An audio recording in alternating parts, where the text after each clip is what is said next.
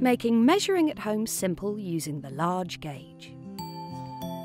First, ensure your child is wearing socks that fit well. Place the gauge on a hard floor with your child sitting, guide one foot into the gauge so that their heel sits against the heel rest and the tape is around their foot. The measurement won't be accurate if your child is standing.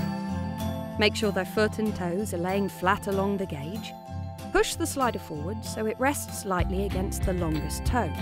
Getting an accurate size and width couldn't be easier. We've already taken care of the growing room. Simply take a note of the size shown by the line in the left circle. This is the UK shoe size. If the line's in between sizes, go up to the next full or half size. To measure the width, firstly find their toe joints. Feel along both sides of the foot and find the bumps just below the ends of the big and little toes. These are the toe joints.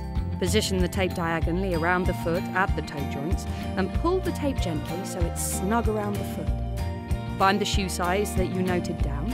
You'll find this corresponds to a letter on the tape beneath.